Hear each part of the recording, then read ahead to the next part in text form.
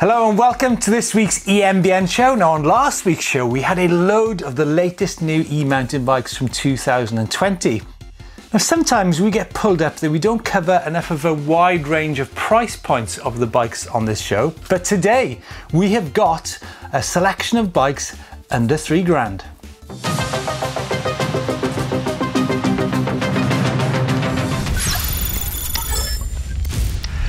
So, as you can see, we've got a bit of an alpine set going on on this week's EMBN show for a little bit of après bike. Uh, Chris Smith, how's the après bike looking down in Somerset? It's not looking too après actually, Steve. It's looking very wet down here in Somerset. The shed is actually dripping water and I'm catching it with saucepans as we speak. I think uh, I'm going to be lucky not to be floating off down the river, hopefully, uh, this show. Think about it as being a mountain shed, Chris. Up in the hills, up above Morzine or Les Gets, and you can see, you know, you've got a bit of saucy saucisson and some olives and some wine and cheese. I'll squint hard and we might imagine that, Steve. I'll try my best. right, let's move on to e-mountain bikes under three grand. Now, like uh, Chris, as I mentioned earlier, we sometimes get pulled up that we don't talk about these uh, less expensive bikes on the show, but that's incorrect. There are a ton of them out there. So, Chris, let's should we have a bit of a let's have a bit of a pick and mix of what's on offer in the e-mountain bike world under three thousand, shall we? Cool. Yeah, let's and how do about, it. How about we start off with a hardtail? Now, I know that I'm, you know, in the past I might not have been into hardtails too much, but I think I'd rather see someone get a hardtail with good geometry and a good motor and a good battery rather than someone buy an e-mountain bike with bad geometry and suspension which is more like a spring than any totally, suspension. Totally, yeah, I 100% agree. Uh, and I'm looking at the Specialized Turbo Levo hardtail. Good choice, uh, good choice. Range of sizes, £2,249. I don't know what the trans translation is to euros there. 29 inch wheels, 100mm travel fork up front, uh, Shimano componentry, and a 400 watt hour battery, which, if you think about it, on a hardtail is actually going to give you a good range because there's going to be less re resistance and you'll probably be riding. Uh, uh, forest roads on that. Now I'm going to move on from hardtail to this bike, which is the Voodoo Zobop. Oh, this Have is I got that one. right? Is it is it Zobop or Zobop? Zobop. You've got that one right, Steve. Great bike. now, this is a bike which is uh, largely available in the UK from Halfords. It's aluminium, it's 120mm travel, E7000 Shimano motor in there, 504 watt hour battery. It's got a dropper post, 24 kilos, Maxxis tyres, uh, RockShox suspension front and rear, and Shimano hydraulic discs.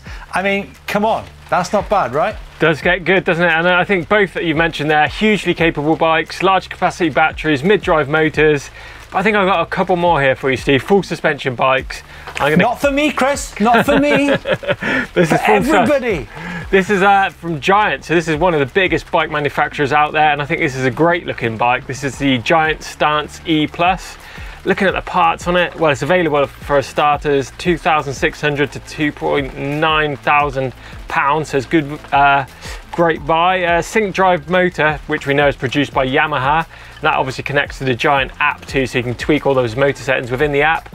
400 or 500 watt hour battery, depending on the model. 120 mil travel, aluminium frame, Tektro hydraulic brakes.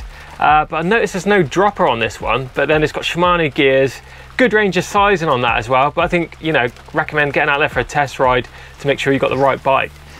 Yeah, do you think, do you know, uh, butt in there, do you think do you think people might be in a, a bit of a, a, difficult situation when you're looking at maybe £2,899 for a for a bike with a 400 watt hour battery, but you can you know, maybe put in maybe 200 pounds more and get a 500 watt hour battery? What yeah. do you think? What's your feelings on that? I think I always go for that bigger. That's one of the things I'd recommend is always go for that biggest battery you can afford. It does make the difference. So yeah, I think if you can afford that 500, then go for it.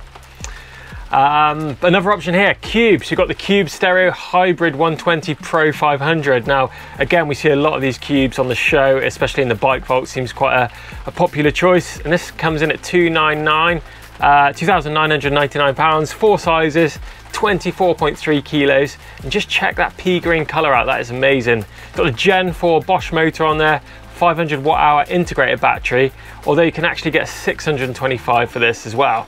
Uh, it's 120 mm travel frame, 29 inch wheels, hydraulic discs, but again, no dropper on that. But again, you can just upgrade that as something, you know, you can add that little bit more money to and put a dropper yeah. on there if you so wish.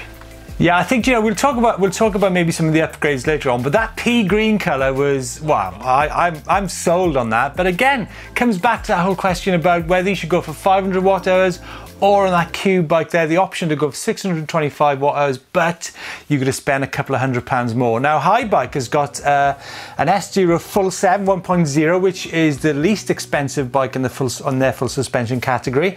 Uh, it's available online or from dealers, uh, 2,249 pounds. It's got to be the cheapest full suspension bike, surely. That that's good value. I think it's great. I, great bike. That's Sorry. great. 2000. I mean, like, like I said, for, for people who, who say that you know we don't talk about the less expensive bikes, or for maybe people who've got an idea in their heads that e-mountain bikes are crazy expensive. I think that proves, you know, in that selection of, of bikes we got there, that you know that's not quite the case. Uh, I want to just pop in that the, there's a Shimano PWSE motor and 120 uh, millimeters of travel on that Haibike. But yeah, you know, we are seeing from that range of bikes there, the bikes have motors and batteries, which you will find on bikes twice the price. So. Um, it's incredible. But one thing I will say though, Chris, is that when I've been looking through these bikes here, the sizing on them does does tend to be a little bit smaller than you definitely. might find on some of the larger bikes. So yeah, what yeah, I'd recommend to that. people is definitely get to a demo day or to a shop and chat these things through uh, with with people to to make sure you get the right size in. Uh, Chris, what about uh, let's move on to what about Canyon? What's, Canyon, what's yeah. Offering a, I mean, we recently had the Grand Canyon. Mm -hmm. Well, funny enough, Steve, that's exactly what I, I want to talk about. So the Grand Canyon coming in from uh, Grand Canyon coming in from Canyon. Uh, it's well spec hardtail, that's coming in at 2799, aluminium frame, and that comes in a load of sizes for this one. And we see a woman, uh, woman's version on the market too, 21.4 kilos. That's pretty lightweight for a big powered bike. 120 mm RockShox Judy fork up front. It's even got 203 millimeter rotors on this bike with twin pot calipers, so they've really put the thought into the braking on this. Big 2.6 Schwalbe tyres on there to sting out the trail. You know, just what you need on those hardtails. Integrated 504 watt hour battery, Shimano E8000 motor. It's just finished off with loads of nice kit. You've got an E specific saddle on there. Just a nice looking bike.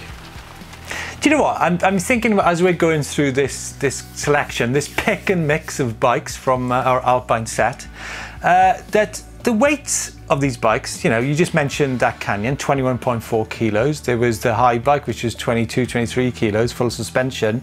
That these aren't really too dissimilar to bikes that are possibly twice the cost. Exactly. So, so yeah, I think you know, we, like I said, we'll talk about upgrading later, but uh, something to think about nevertheless. Uh, now, I'm going to pull another hardtail into the mix here, the Cannondale.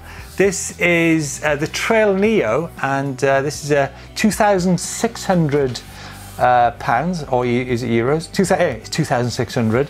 It's an alloy frame, 100mm travel fork, Shimano Deore gearing and brakes, E7000 motor from Yamaha, and of course an integrated 504 battery. I mean, that's another thing to think about. Do you want to go integrated or do you want to go external? Do you know, I'm thinking, Chris, there's something missing. There is something missing from our list. and it's it's the it, it's the um, decathlon, French decathlon, brand. decathlon, brand. Steve. French brand, French brand. That's it. So uh, decathlon. We, we saw these bikes at Roc d'Azur Festival uh, last year. Incredible what what you get on those bikes. And this, I think, actually blows my mind. I'm glad you brought that up, Steve. I mean, we've got the Decathlon Stilus. And first up, the componentry on this bike. Well, I'll tell you first, it comes in at 2699, so it's super, you know, 2,700 quid fourth generation Bosch Performance Line motor on there, 500 watt hour integrated battery, SRAM Eagle gearing, hydraulic discs on there, it's got a dropper, 150 mil travel, RockShox suspension front and rear, and it weighs in at 24 kilos. I gotta say, a fantastic pick and mix there, even if we, if we say so ourselves. Now, um, I can see that many people might be thinking, whoa, should, should we go for you know, the bike which is two to 300 pound more, which gives you a larger capacity battery? I'm thinking maybe we should give a top five tips for people buying e-mountain bikes under £3,000. Uh, Chris, I'm going to start off with sizing. Now, I've looked at the website of most of the companies of the bikes we've looked at, and if you go to the geometry chart, you'll see the reach measurement, which is a reasonably good idea of the size of the bike. Actually varies quite a lot between the different bikes. So uh, my my suggestion is you get yourselves to a bike a bike shop or maybe to a demo day to actually get to sit on these bikes and ride them to make sure you're getting the right size. Yeah, number definitely. two, I think- Chris. Number two. Yeah, number two, I think adding to that, Steve, I think is the suspension on the bike. Now, this is where sometimes manufacturers might save a little bit of money where they add it into other areas on the bike. So the suspension, maybe if it's front or rear, could possibly be upgraded. You just want to make sure you're not attacking that full-on sort of terrain with basically a spring that's just going to bounce you around. You want a quality suspension fork on there, and that might mean upgrading at some point. Yeah, absolutely. And I'll uh, I'm bringing tyres at number three because uh, tyres will have a big impact on the type of terrain you'll be able to go to on your e-mountain bike. Some of you might be riding forest roads, in which case a low-profile hard compound tyre is great. However, if you want to get off-road into more challenging terrain, then something a bit softer, more grippy, and more aggressive is definitely going to give you uh, increased comfort and control out on the trail. Right, as we as we move swiftly on to tip number four, uh, I see that Chris has got a little helper there to uh, talk him through. Maybe what should we talk through? Maybe the cost of upgrading. Yeah, I think Cody knows a little bit about that, don't you? Or not? Yeah? no, I think in with the um, cost of upgrading, there's quite often different levels of uh, bikes available in the range. You know, you get the base model, you get the mid model, and the high end model. I need, I think you need to think about how much money you're actually going to spend on that bike to get it to the bike that you want it to be. You know, if you are thinking about adding a few hundred pounds to that base model, then maybe you do need to think about getting that mid model, and then it's going to fit the box rather than spending a load of extra cash on it. I think. Yeah, but uh, have no fears. Most of these bikes that we've uh, been through on the show so far will be massively capable. And that brings us on to point number five is the application which you intend using this bike for. Now, if like I said, if you're going to be riding forest roads or maybe gentle single track, then a hardtail will be fantastic for the job in hand. However, if in the future you see yourself getting up into the mountains, into more challenging terrain, and have a think about that when you're buying your first sub £3,000 e-mountain bike. Let us know your thoughts on the bikes. Chris, you still there? I'm still here. Cody, you still there? He's still here. Cool. Cody's thoughts on the bikes we chose? Uh, what do you think about the bikes Hot we chose today? Hot or not? Hot or not? Hot. or not? Hot.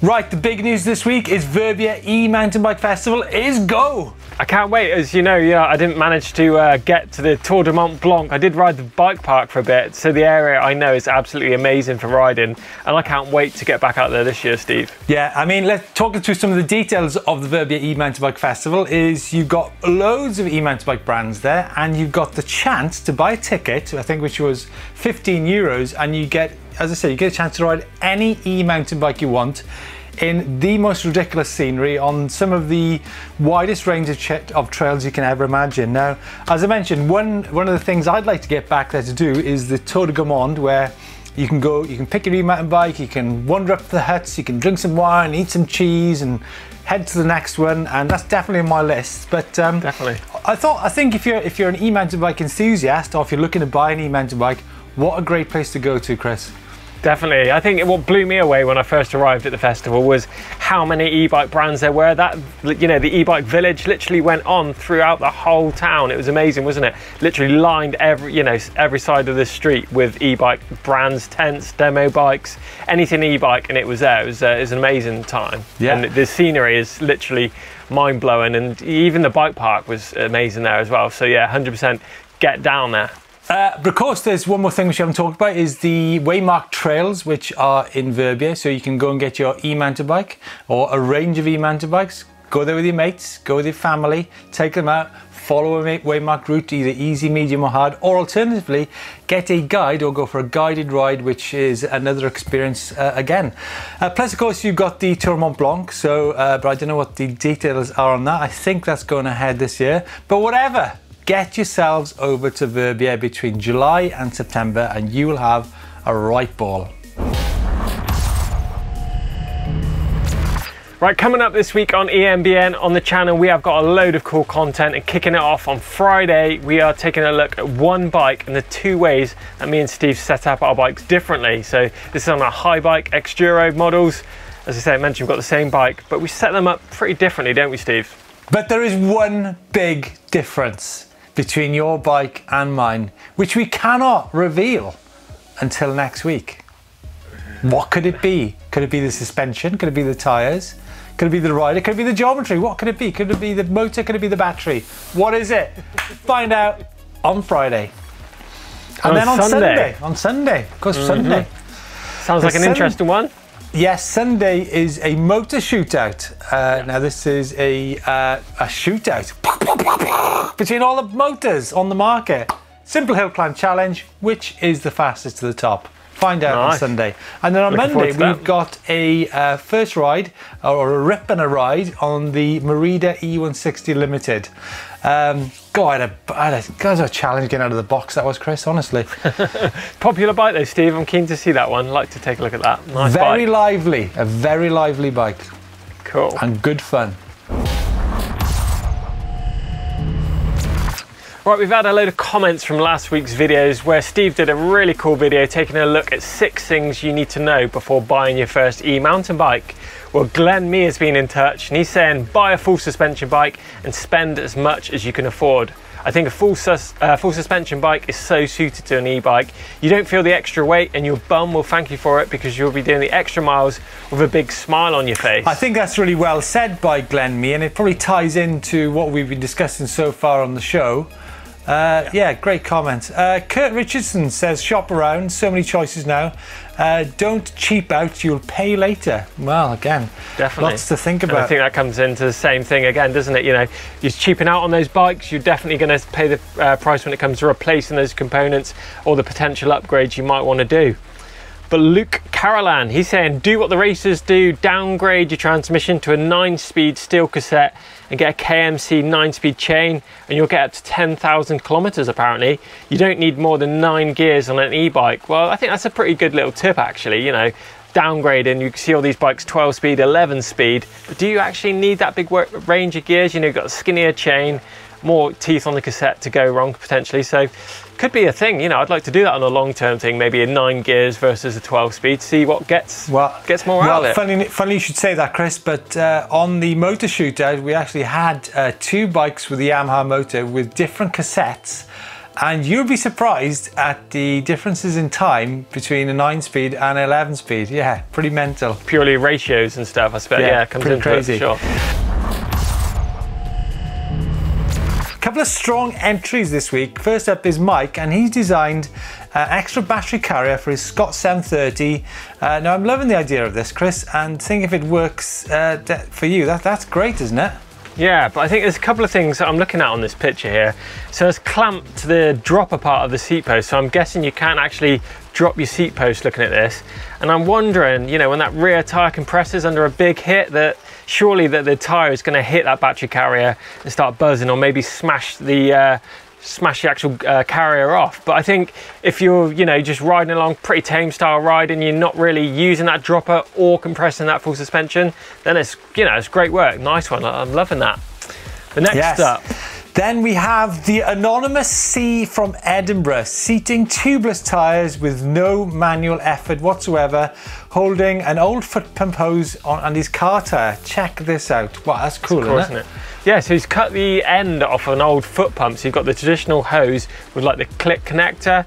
Uh, he's mounting the click connector to his car tire. Then the other end of the hose is connecting it to his bike, and then that air is going to transfer over to the smaller tire until the pressure equalizes. So just waiting for that tire to uh, the air to transfer and pump that up. So he doesn't have to use any pumps at all. And bang, you know, looking at a video, the tire sits on there straight away, super easy with no pumping. But the only downside to it that I can see is that you're gonna have to pump the other tyre back up instead of pumping the bike tyre up. So two ways, Yeah. I suppose. But yeah, nice little hack, nice one. Do you know, a, fr- a friend of mine came around on the weekend and uh, he brought the brought full suspension bike here and uh, he said, Oh, yeah, I pumped the suspension up. He says, before he came over, and he used a foot pump Do you know the old-fashioned foot pumps? Yeah, yeah. He'd, he'd Yeah. use one of them to pump Right. air in his shock absorber. I've never seen anybody do that. Have you? I didn't. I don't know if you could do it. Could you? I think the older foot pumps and stuff they only go up to like I think max like 90 psi or something crazy. But obviously we're pumping three 300 350 into a shock, so I don't know how you'd get on with that. But if you if you bear in mind he had no air pressure in it, so 90 psi was actually better than no Better psi. than none for sure. Yeah, yeah. God, But, but nice. I mean, an, another little tip there. Time to move on to out and about. Now, first of all, Jonathan has been getting his flow on in this video. Out in Squamish, British Columbia, it looks like an amazing trail there. Uh, loads of jumps, loads of flow. He's riding his Calivo custom build and he's been on a trail called Mika's Magic, which is actually a trail named after one of the local riders who lost, lost her life earlier on. So it's a sad story there, but Jonathan clearly having a good time. Definitely. Uh, now, Chris is one of our regulars, has got himself a new ride. Looks like a nice new shiny Levo comp. He's been out bedding it in uh, in the rain on some cracking shots, uh, as always in this. That's nice, Yeah. Chris, isn't it? Nice shots, yeah, for sure. And from the rain to the dust of Australia, this is Dave, and they were riding Levos in this video along the Margaret River in Western Australia, blasting out a 48 kilometre loop in the sun. Be better than riding the, in the mud of the UK, that's for sure. Nothing better than that, surely. And uh, and another Oz submission here. This is Lily the Trail Dog. Oh, wow. Uh, now, uh, by the way, thanks for the great comments last week uh, on the video I did with my daughter, and where she had her trail dog out and about. Anyhow, she loves getting out there and enjoying the trails. So I did this front carrier, and she looks like she's having an amazing time. What type of dog is that, Chris? I'm not too sure, I'm not too hot on my dog, Steve. Not too sure. If you can let us know down in the comments box below about what dog that is, I'm not too sure. Anyway, this is David, he's been out riding from Bogus to Boise on his Trek rail. Looks like he's having a great ride there. Sandy single track, to hitting some drops and jumps on the way. 16 miles of tech single track. Sounds like an amazing route. Yes, and lastly, this is close to home. Jamie has been hitting the hills of Roborough uh, on his new Levo after watching one of our suspension setup videos. Oh, nice one, uh, Jamie. Uh, says it feels perfect as he enjoy and is enjoying enjoying the ups and downs on his new ride. Fantastic. Nice. Great. Love to see all you guys out there enjoying your e-bikes all over the world. If you want some videos or got pictures to send in, use the upload service and we can check your ride out. And on this rainy day in Wales and England, it is time for the much awaited bike vault. Chris, this week I have got, you'll be glad to hear, a super nice Cowbell, no way, nice. bell to give us the uh, credibility to some of those fantastic shots Super out there. nice, yes. How about you kick Oh. things off with uh, with the first one? Yeah, so this is Craig. He's been out close to you, Steve, Forest of Dean on his nice new stealthy looking Decoy Pro 29er. That is a nice shot. It is a nice. Uh, now there's Richard who is back on his first ride after breaking his neck, breaking his Mm-hmm. And his neck back. and the back on the bottom of this very hill. He was airlifted out of here by Sea King last time. Uh, he's out in the Brecon Beacons on his Levo. I mean, I mean, I mean that is a super nice but a super sad story at the same time. Definitely. Well, he's on his KTM, so it wasn't. He's on his motorbike by the sounds of it, so he's reliving the same experience as on his e-bike. So yeah, super nice. Hmm. Anyway, this is Stu. He's taking his Orb- Orbea Wild FS M10 out for his first spin down in Cornwall, and absolutely loves the ride. Super nice shot. Oh!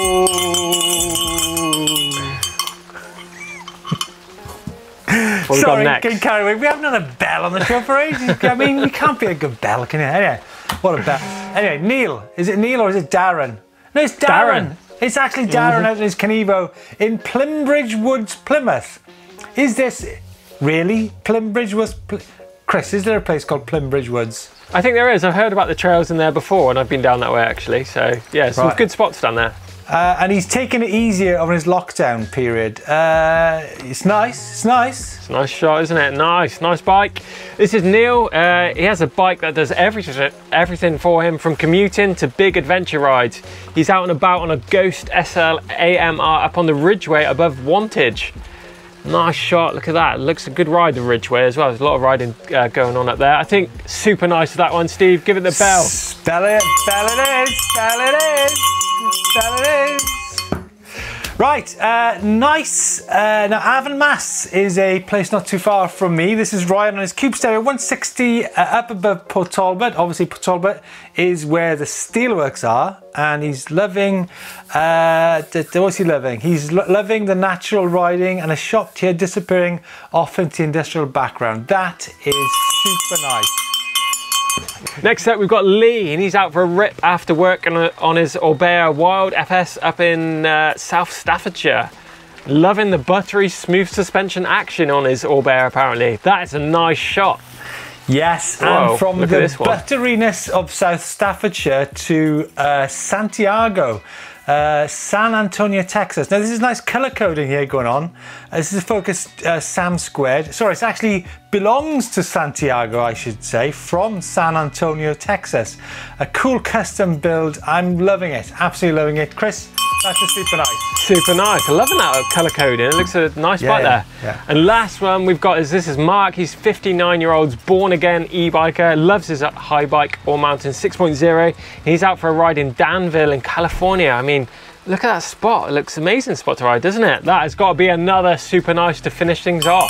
Absolutely, and, and you know, I thought that was a bit of a British theme going on there this week, but it got twisted round in the end, and we went to across the Atlantic to America, and some really nice. super nice shots there. But Chris, there's only one winner of the bike vault this week, and uh, I'm going to leave it to you to uh, name that bike. Uh, yeah, no, some strong entries this week, but I think it's Santiago's custom focus jam squared. Uh, it's nice to see all those parts color coded in. I think that's a great looking bike. Can't be a custom, can you? So yeah, bike of the week going to him. But keep them coming in. Use the upload service. So that's it from this week's EMBN show. I hope that we've gone some way to answer the question about uh, bikes which are under 3,000 or should we 3,000 pounds, 3,000 euros, 3,000 dollars, 3,000 whatever you want them to be. But uh, I'm sure there's some great bikes in there for you to feast your eyes over and have a great think about. Uh, and we, I guess we will see you next week. Chris, I'll see you uh, hopefully outside next week. Yeah, hopefully it's going to be drying up and getting, you know, escaping from this rain.